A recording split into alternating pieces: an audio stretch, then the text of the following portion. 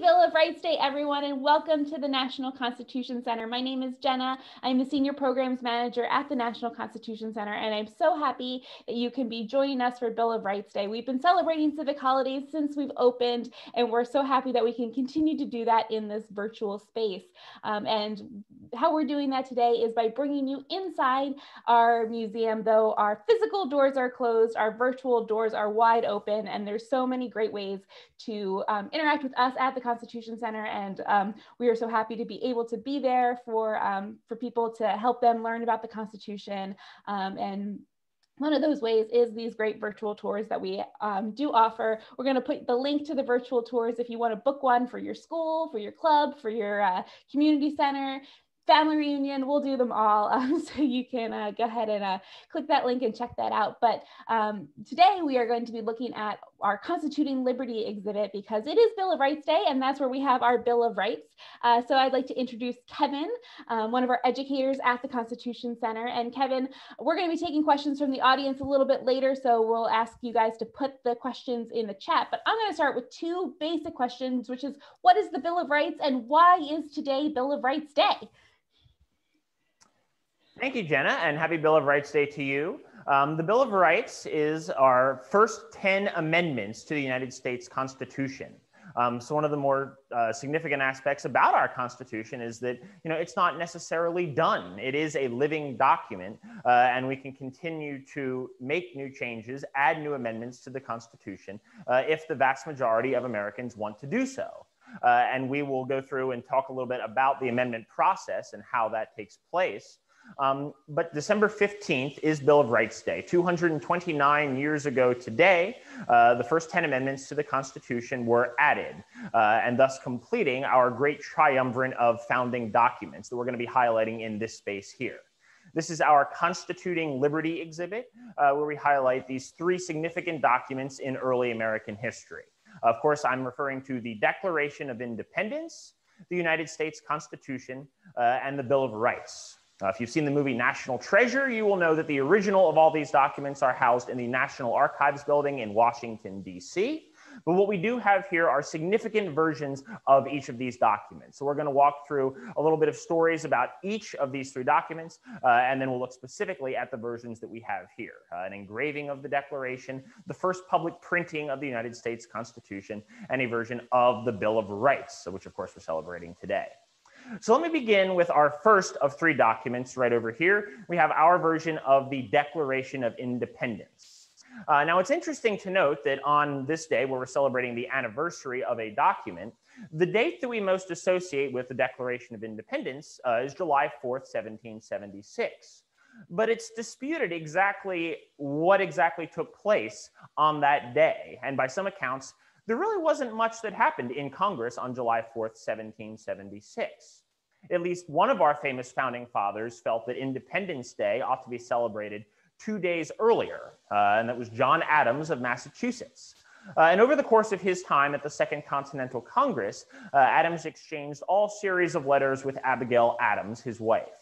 Uh, one of those famous letters included Abigail's famous Remember the Ladies quote, um, that's really being inspired uh, right now as it is the 100th anniversary of the 19th Amendment as well. Um, but on July 2nd, 1776, Adams writes triumphantly to Abigail, saying, The second day of July, 1776, will be the most memorable epocha in the history of America. I am apt to believe that it will be celebrated by succeeding generations as the great anniversary festival. It ought to be solemnized with pomp and parade, with shows, guns, sports, games, bells, bonfires, and illuminations from one end of the continent to the other, this time forward forevermore. So, aside from being a few days off on the date, um, Mr. Adams was pretty prophetic in his assessment on how Americans would celebrate Independence Day. The reason why he thought it would have been on July 2nd was that was the day that Congress voted on and approved um, the resolution in Congress uh, resolving to declare independence from England, uh, that these colonies are, and of a right ought to be, free and independent states. So how was it that we get around to July 4th as being Independence Day? Well, it had to do with a document that John Adams was involved in drafting. Adams was part of a five man committee to draft a Declaration of Independence. Uh, in breaking away from England and severing their political bonds, um, Congress felt it necessary to articulate and explain the reasons why they were having such a breakup. And Adams, along with Roger Sherman of Connecticut, Robert Livingston of New York, Philadelphia's favorite citizen Benjamin Franklin, recently returned from Europe, uh, and of course the young Virginian Thomas Jefferson, uh, were part of this committee to draft a Declaration of Independence and Jefferson is chosen as the primary author. Uh, and there's sort of some dispute as to how he was actually chosen. Um, Adams recalled in years uh, in a letter years later that he gave Jefferson three reasons why he should be the primary author of the Declaration. One, you are a Virginian, and a Virginian should be seen at the head of this business. Two, Referring to himself, Adams said, I am unpopular, suspected, and obnoxious. You, Jefferson, are very much otherwise. And third, you can write 10 times better than I can. Jefferson apparently never recalled such a reasoning of Adams, um, but it's important to note uh, a couple of these reasons, uh, particularly the first one. Uh, Adams saying, Jefferson, you're a Virginian. Uh, and it was important in these early years of the revolution, when much of the fighting had taken place in New England, um, that New England might be cut off from the rest of the colonies, and support from the colonies north to south um, was questionable. So, in much the same way that a year earlier, John Adams had uh, appointed a, a gentleman from Virginia, George Washington, to serve as commander in chief of the Continental Army, in the same manner, putting a Virginian at the head of the document declaring independence was a way of maneuvering the more powerful Southern colonies to the support of what had largely been a conflict in New England. So Adams is really sort of bringing the colonies together. Jefferson, as the primary author, went through several versions of the Declaration. Um, several of the most famous lines from the Declaration um, were edited by Benjamin Franklin, uh, the long career newspaperman um, some of the earlier passages, uh, we hold these truths to be sacred and undeniable through uh, Franklin's tinkering became self-evident. And likewise, these inalienable rights Jefferson originally included were life, liberty, and the right to own property, as Franklin, of course, changed to the pursuit of happiness. Uh, and perhaps more significantly, an earlier version of Jefferson's Declaration actually included a passage about slavery, uh, an institution that he blamed the King of England for. Uh, an original passage for Jefferson stated, he has waged cruel war against human nature itself, violating its most sacred rights of life and liberty in the persons of a distant people who never offended him, captivating and carrying them into slavery in another hemisphere. This piratical warfare is the warfare of the King of Great Britain. So here we have Jefferson acknowledging uh, the injustice of slavery. But this was one of several versions of the Declaration um, that the Continental Congress was unable to agree upon. Ultimately, Jefferson's attack on slavery would be left out of the final version of the Declaration. And the final language would not be finally agreed upon by the members of Congress until July 4th, two days after the resolution. So when the document was sent to the printer, John Dunlap, who printed 200 versions of the original declaration, July 4th was the day that appeared on the document. Now, going through the rest of the revolution, um, what is clear is where the document would have traveled. It's not immediately clear when it was actually signed. Uh, we know that it was read to the troops uh, and throughout the colonies beginning on July 8th. Um, and then we believe that it may have been signed um, primarily on August 2nd.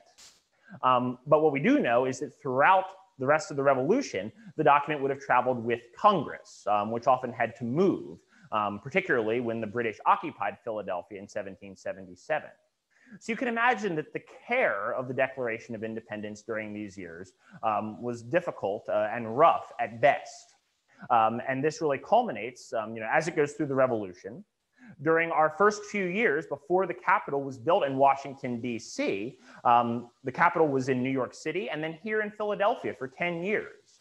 Um, and as the early seat of our new federal government, the Declaration would have traveled with the Congress and then ultimately with uh, the seat of the nation's capital. Um, but when it moves to Washington in 1800, uh, a few years later, of course, we're at war with the British again uh, during the War of 1812. Uh, and during the summer of 1814, the British forces invaded Washington, burned the White House, burned a portion of the Capitol, and the Declaration again had to be hastily evacuated. So by the time we get to 1820, you can imagine that the Declaration was in fairly rough shape. Uh, if any of you have seen the Declaration today, um, you may note that it is near illegible in some areas. It is rather difficult to read. Well, apparently that was already becoming the case in 1820. John Quincy Adams, John Adams's son and a future president in his own right, was Secretary of State in 1820, and he was concerned about the care of the document. So he commissioned an engraver named William Stone to produce copies of the Declaration. And I have one of these copies right here. Stone was given the original Declaration to work with, and it's in his possession for three years. It's not immediately clear what the exact process that he used to make his copies, but it may have involved a chemical substance uh, where he was able to transfer some of the ink off of the original declaration and apply it to a copper template, where he was then able to trace his engravings uh, and make the plate, the template that he could then use uh, to print his versions. Um, that actual copper template survives today, and it is on display also at the National Archives. Stone is able to produce 200 versions of the Declaration of Independence. Well, 201. He kept one for himself. Some of these documents were distributed to uh, presidents, uh, James Madison and James Monroe. The Marquis de Lafayette received a copy, uh, and two copies each were sent to the surviving signers of the Declaration of Independence. Uh, then Charles Carroll, John Adams, and Thomas Jefferson the latter two of which would pass away on July 4th, 1826, 50 years after the Declaration. Uh, and it is this document here, one of the few that survives, um, that is the best example that we have today of what the Declaration would have looked like when it was new being signed in 1776. So, now, Kevin, let's move forward. Have- Oh, oh, well, go ahead. Before we move forward, sorry, Kevin, we have a great question from Emily in the chat box. And so I wanted to pose that to you. Um, she asked, when they wrote the Declaration, did they think you know there was hope like, did they think the founding fathers um, could appeal to england and get them to you know stop performing the tyranny and treat them as equals. I'm quoting from emily. Or at this point um, did the founding fathers have no intention of rejoining england and were just trying to found the country? And i think that um, going back to those dates july 2nd versus july 4th kind of answers that question for us doesn't it? It does absolutely. Uh, and if i'm overloading you with uh, John Adams quotes here. Uh, it's important to note that not all of Americans um, were in favor of breaking away from England, and there was intense debate amongst members of the Second Continental Congress uh, about whether or not they would remain with England or not. Uh, John Adams remarked that he felt that the American population could roughly be divided into thirds. You know, a third were for independence, a third were against independence, and then a third were neutral. Uh, and even after the revolution had started, so you go back to Lexington and Concord and then Bunker Hill, uh, those battles outside of Boston took place a full year before the Declaration of Independence was written. And even during that time, after the war had started, Congress was still weighing the possibility of a compromise uh, with England. Uh, they had sent over what was called the Olive Branch Petition to King George, uh, trying to reconcile and trying to get almost some autonomy, um, you know, sort of their own recognized independence, but still within the British Empire. Um, so it's a long process, and some of the founders are more quick to come to this break than others. But by the time we get to July 4th, 1776, uh, the members of the Continental Congress vote unanimously to declare independence. And Adams felt that was important. Uh, the saying was, all 13 clocks need to strike at once. Um, for them to declare independence, uh, it was important that all of the Americans, at least in Congress, had agreed to this break. Uh, and there was a, uh, months of intense debate before they came to that unanimity. Yeah. So by the time we get to Declaration, July 1776, we're we're ready to go. We've um, decided that we're going to be independent, but the that was kind of the culmination of several years and several negotiations, different uh, documents that um, uh, preceded that. So it's not like it was an overnight decision. Um, there were those moments that just wasn't July 1776. We had already made the decision by then. All right. So what we do know is that the Declaration, while it's a great declaration of rights and equality, has no weight of law, right, Kev? No, it doesn't. And Tell us about the next document.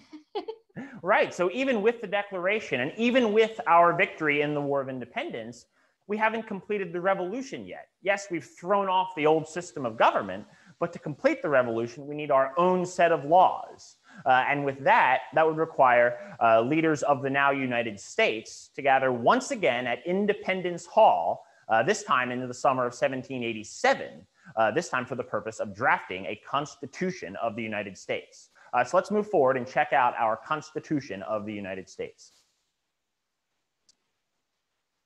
When the delegates arrived in Philadelphia uh, on May 25th, 1787, it's not immediately clear what their role was. You know, were they there simply to tweak the existing government, make some small changes? Um, the existing government was known as the Articles of Confederation. But it's clear by the spring of 1787, this version of government is not working. Under the Articles of Confederation, the states had their own currencies. So think of all the states that you all are from today. $20 of New Hampshire money might not be worth $20 of Pennsylvania money. Um, the states had their own relations with foreign countries. Uh, so, for example, uh, shortly after the war, France, our ally during the revolution, was preparing to send 13 separate ambassadors to the new United States, you know, one to each country. Uh, and we sort of had that same thinking that, you know, when people refer to their country, they're talking about their state. We're not yet thinking as a nation yet. Uh, and perhaps the biggest problem under the Articles of Confederation was that to get any kind of new law or amendment passed required unanimous consent amongst all of the 13 states, uh, which was incredibly difficult to do.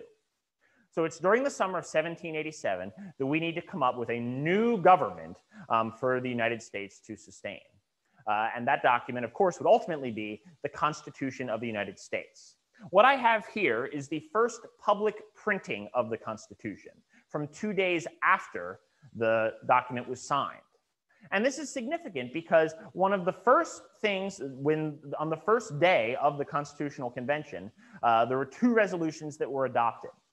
The first one was to elect George Washington unanimously as president of the convention. Washington's mere presence at the convention added legitimacy to it. If George Washington is going, then this is very important and we should attend as well. The other thing they do is adopt an oath of secrecy, sort of a closed door policy. So during the summer, even in Philadelphia, the largest city in America, the public was not aware of what was really going on.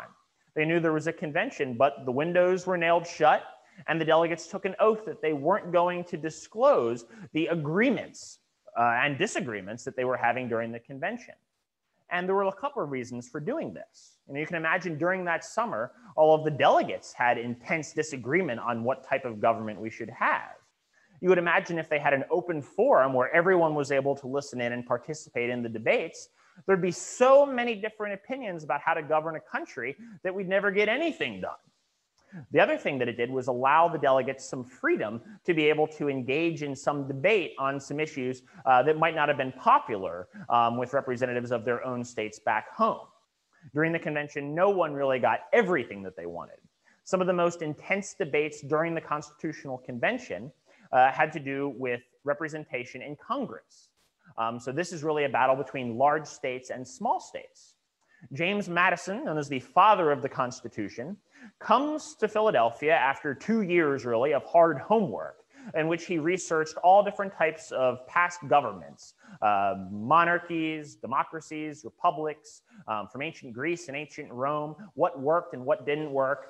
And he comes up with a blueprint that includes a separation of powers and checks and balances among three different branches of government. Of course, our legislative branch, the executive branch, and the judicial branch. But it was a property in the legislative branch uh, that caused a lot of debate among some of the smaller states. You'll recall today that, of course, we have two branches of government the House of Representatives and the Senate. Well, under Madison's original proposal, both houses of Congress would be based on proportional representation. So larger states would have more representatives in each body. That, of course, appealed to the larger states like James Madison's Virginia, um, but some of the smaller states objected to this idea of proportional representation. New Hampshire refused to sponsor any delegates. The only reason a few of them showed up was they paid their own way. Rhode Island didn't send any delegates at all. And New Jersey comes up with its own blueprint, uh, known as the New Jersey Plan by New Jersey's William Paterson, where it was sort of a loose changing of the Articles of Confederation based on equal representation. So, regardless of the state's size and population, every state's vote would be counted equally. So, of course, a great compromise is what we have today, where we have the two houses. Um, the House of Representatives is largely what the larger states would have wanted. So, today, a state like California, Texas, or New York has a lot more representatives than smaller states. Whereas in the Senate, it's what the smaller states wanted equal representation. And to this day, every state, regardless of its size or population, has two senators. Uh, so that was what the smaller states wanted.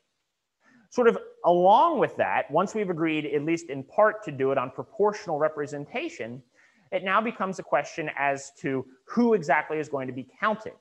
Uh, and you'll recall at this point that only white, wealthy, landowning men um, would have been able to participate in the political process and vote. Uh, and particularly whether the question of enslaved persons, which made up about one in five Americans in 1787, would they be counted? Uh, and ultimately, it was the three fifths compromise, where enslaved persons would be counted as three fifths of a person for proportional representation. The third main debate concerns us today, and that is whether or not to include a list of enumerated rights in our Constitution. At this point, several of the states had their own versions of State Bill of Rights. Um, George Washington's next door neighbor, if you will, George Mason, had been the author of the Virginia Bill of Rights. Uh, and he, according to Madison's notes, stated that he would rather chop off his right hand than put it to the Constitution as it was without a Bill of Rights. So if we take a look at our document over here, this is our first printing from September 19, 1787. So when the delegates agree on a version of the Constitution, uh, it would be signed on September 17th and sent out to the various states. This document here has the preamble, the first seven articles of the Constitution, and it identifies the names of all of the men who signed. But it is missing a Bill of Rights. Uh, so let's get to that in one second. A few points that I would like to make on our document here. Um, notably here with the preamble. Uh, you'll be familiar with the first three words of the United States Constitution. We the people. And this is sort of a break from the way that they used to start documents in America. Uh, other documents might have started, we the people of New Hampshire, New York, Massachusetts Bay, Connecticut, New Jersey, Maryland, and so on listing all of the states. Uh, and there's sort of two reasons uh, why they might have adopted this language. Uh, a more cynical point of view might be that they weren't sure whether all of the states would ratify it yet. We still have a ratification process that is largely going to be uh, contingent on whether or not we're going to have a Bill of Rights. So we're going to see how that plays out in a minute. Um, so we're not immediately sure whether all the states are going to ratify. Uh, and that is reflected in the names of the signatures of the delegates right over here. Uh, I'm not sure if I'm able to zoom in that close, but we see here the list of all of the people, the states, that is, who ratified the Constitution. And we'll see here it says the states of New Hampshire, Massachusetts, Connecticut, Mr. Hamilton of New York, New Jersey, Pennsylvania, Delaware, Maryland, Virginia, North Carolina, South Carolina, and Georgia. So, why Mr. Hamilton getting his specific designation? Well, the man could sing with the best of them, but he couldn't represent a quorum in New York all by himself.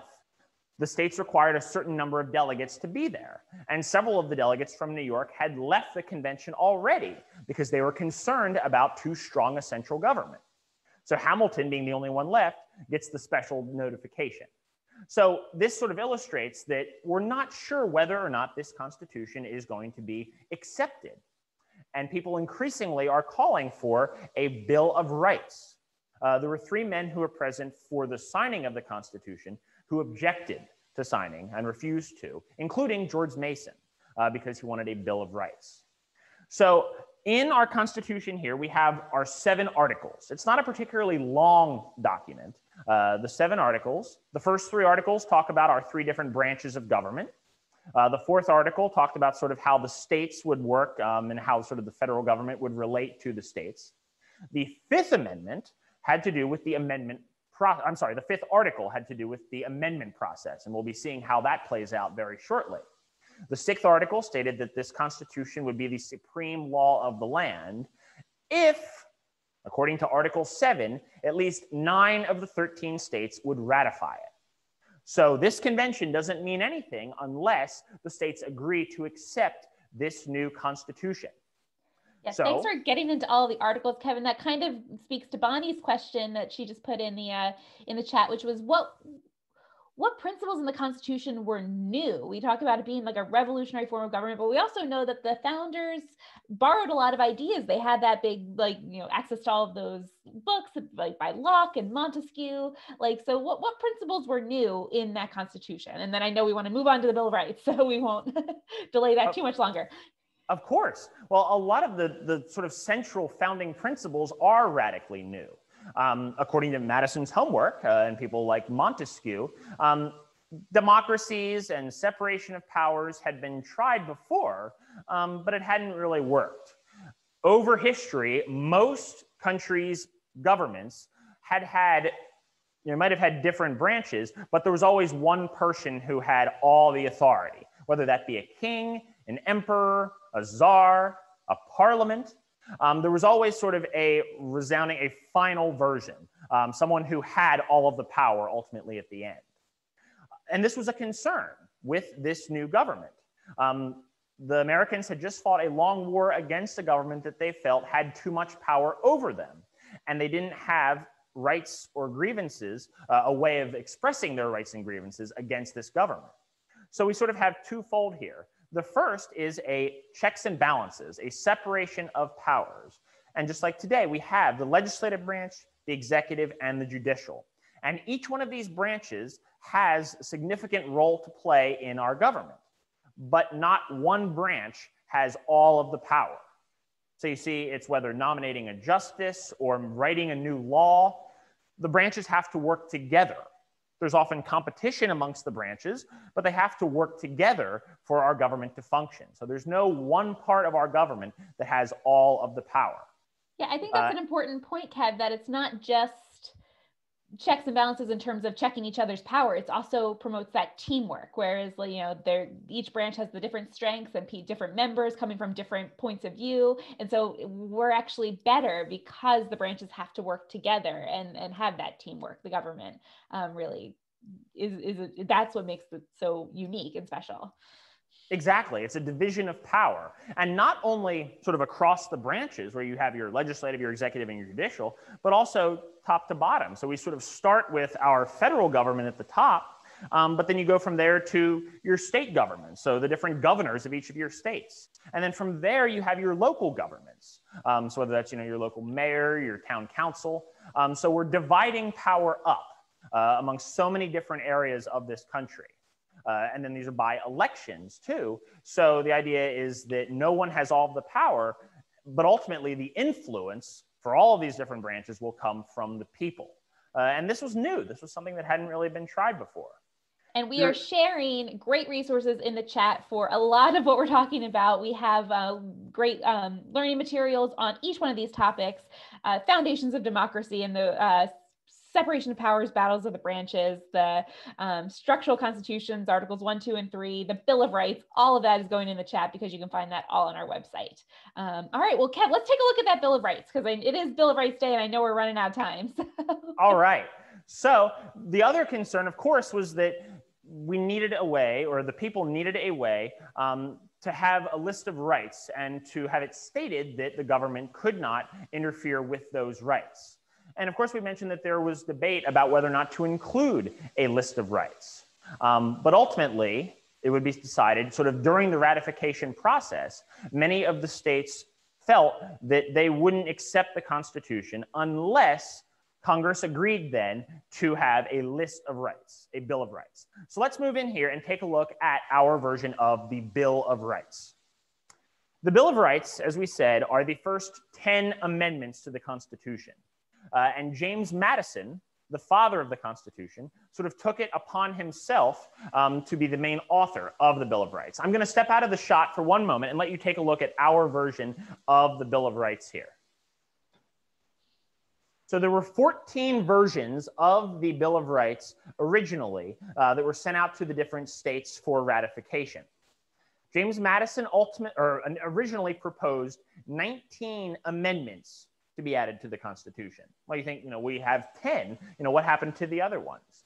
Well, it's a two step process to amend the Constitution. Any proposed amendment must be submitted to Congress. Congress must get at least two thirds majority approval uh, of each amendment. If this occurs, then it is sent out to the various states. And three quarters of the states are required to ratify it for that amendment to actually take effect. So Madison initially has 19, I'm sorry, 19 amendments sent, and then 12 of those amendments are approved by Congress and submitted to the states, which brings us to our document here. There were 14 original versions of the Bill of Rights, one kept by the federal government and one sent out to each of the different states to ratify. And of those 14 copies, 12 are known to survive today. Eight states officially possess their copy. The Delaware copy and the congressional copy are housed in the National Archives building in Washington, D.C. And four states officially do not possess their copy New York, Pennsylvania, Maryland, and Georgia. Now, of those four copies, there are two known to survive today that are unidentified. We know they're original, but we're not sure which state they were originally intended to go to. And one of those copies was discovered in the New York Public Library. And it wasn't immediately clear whether it was New York's copy or Pennsylvania's copy. Um, so the two states agreed on a loan where they will share the document every three years. The document of the Bill of Rights gets exchanged between the New York Public Library and Philadelphia. Um, so we're able to display at different times the version of the Bill of Rights uh, right here in this space. I love that history mystery. It's like we found this, you know, no one thought to say this is going to be important 200 years from now. Let's make sure we keep it in a safe space. They, that and so those documents just kind of went missing until you know someone discovered it was in a drawer. Right, absolutely, and that's an important part of not only our mission, but in other museums, um, to be able to preserve these documents for future generations to look at. You know, we're very fortunate that these documents are here 229 years later, uh, and we do everything we can to make sure that they're here for the next 229 years. So now that um, we've sort of seen the history of you know the drafting of the Bill of Rights, let's see if we can come over here and take a look at just what exactly goes into our Bill of Rights. And I um, think that Bonnie had a great question that kind of relates to that, Kev, is, um, you know, we have those 10 amendments. Is there any particular order to how they were included? Is there any importance to the order that they were included? Um, so as we're going through, maybe if you could touch on that for Bonnie. Of course, that's a great point. Um, and I would suggest that there wasn't necessarily an order of importance, or at least James Madison didn't have an order of importance because his first two amendments were actually the ones that didn't make the cut. So if we come up over here, we have sort of the transcript because it is difficult to read this document. Let's take a look at the 12 amendments that made it through Congress and were submitted out to the states. So this here shows the 12 amendments that James Madison proposed. Starting with Article the third, we have freedom of speech, freedom of the press, freedom of religion, the right to assemble, and the right to petition the government. These five freedoms, collectively the freedom of expression, make up the foundations in our First Amendment. So Article the third here really is our First Amendment. But let's look at these other ones here that didn't make the cut because James Madison listing these started with Article the first. This uh, contained a formula for the number of representatives that we should have in Congress. Because, of course, remember, we're expanding the country, we're adding new states. Uh, and how are we going to build up Congress? Well, this proposal stated that we should have one member of Congress for every 50,000 people living in America. If we had adopted that formula back in 1791, and we were one state short of doing so, we would have somewhere around 6,500 members of the House of Representatives today. Uh, so suffice to say, we would need a larger building. The other article uh, has a more interesting story.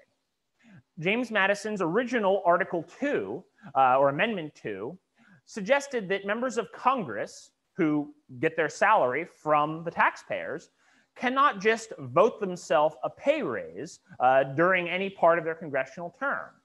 In order to get a pay raise, they must have the next election. Uh, so the voters actually have a say over whether or not Congress will vote uh, on a pay raise. Well, this amendment, unlike future amendments that have been given time limits, um, was not given a time limit and was sort of left pending for close to 200 years. And it wasn't until 1982 uh, where it resurfaces. Uh, and for the students that we have here who may be assigned a class project, um, this story here really uh, illustrates the importance of class projects. Uh, in 1982, uh, a Texas student named Gregory Watson was given an assignment. Uh, he was attending the College of um, the University of Texas at Austin. Uh, and he's given an assignment by his political science professor to come up with an amendment, come up with your own amendment and show how this amendment could be added to the Constitution. So remember, we said it's a two-step process. Um, first, you would need Congress to support it, and then you would need the states to support it. Well, rather than going back and coming up with his own amendment, Watson did some research and found James Madison's original Second Amendment. And he realized that this amendment had already been approved by Congress back in 1789. So, in theory, all that would be required would be to have this amendment get ratified by at least three quarters of the states, and then it passes into law.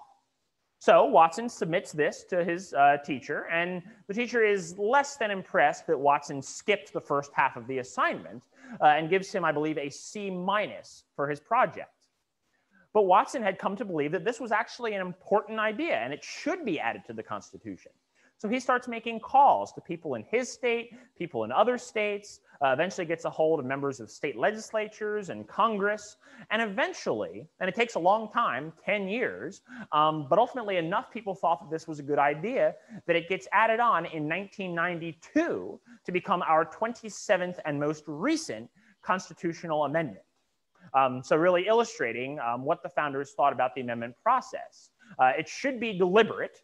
Maybe they weren't envisioning 200 years worth of deliberation, um, but it should be something that a lot of people should support, uh, and it would take a lot of time to debate. So most amendments, even though there have been, I think it's over 11,000 amendments have been uh, proposed in Congress, um, there's only been 33 amendments that Congress has approved, and of those, 27 of them have been ratified by the states.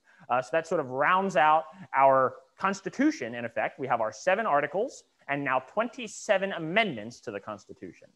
Uh, yeah, and I think, I think that's the formal portion of our tour today. So I'll turn it back over to Jenna. And if we have any questions at all, uh, we'd be happy to hear from our viewers.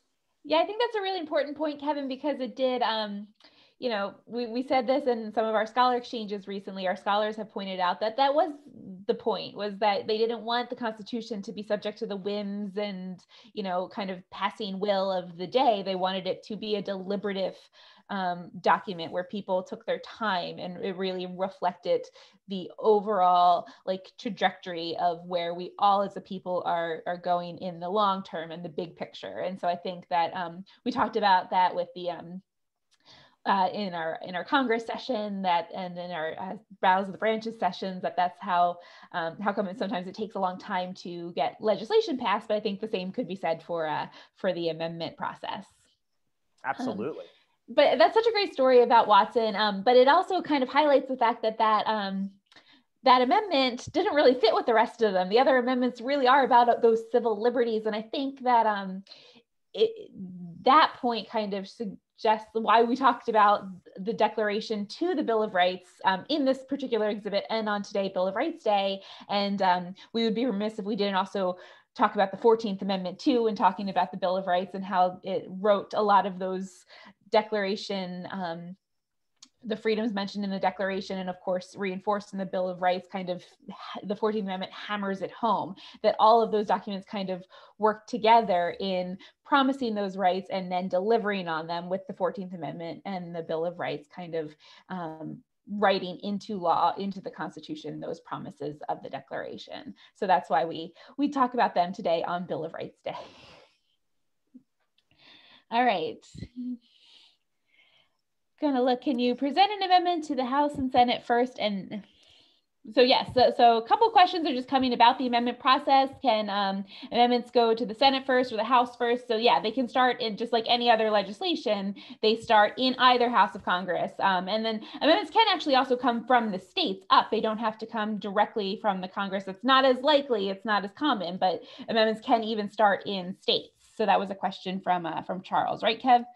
Yes, that's a good point. Um, so there's sort of two other um, ways in which an amendment can um, be added to the Constitution. Uh, we mentioned that it, Jenna said it can come from the states, uh, not directly from Congress. Uh, that has happened uh, one time, and that was the 21st Amendment, where it went through sort of the state legislatures first.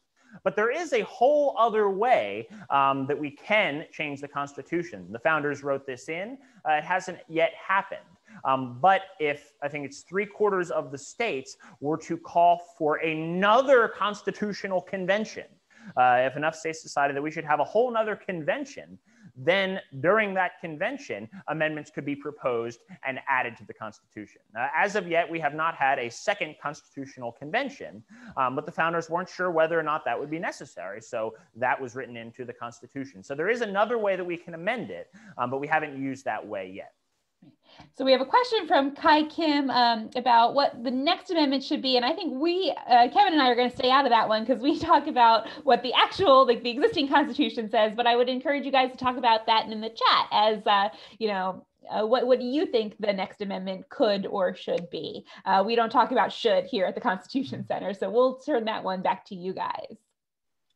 Um, so thank you all so much. I think we are almost out of time.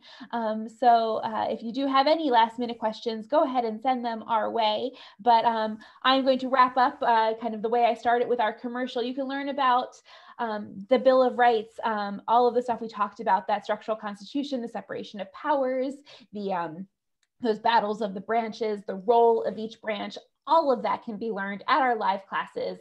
Um, so you can find that on our website. We have the individual uh, learning material modules uh, for each one of those topics, but then we are also teaching live classes. Um, you can watch the recorded sessions or come to the live classes.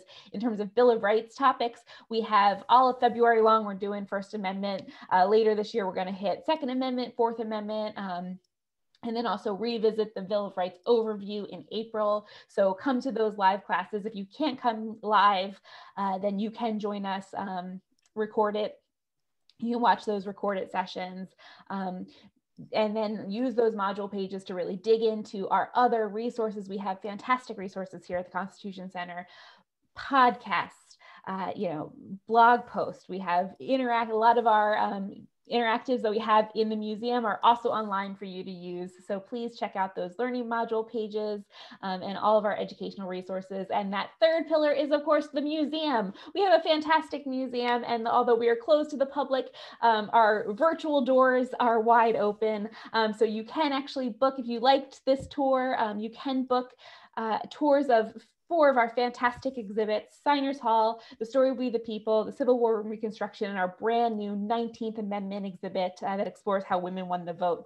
Um, so book those tours for your, your class, your um, your club, your after school club, or a community group. Like I said, we even do family reunions.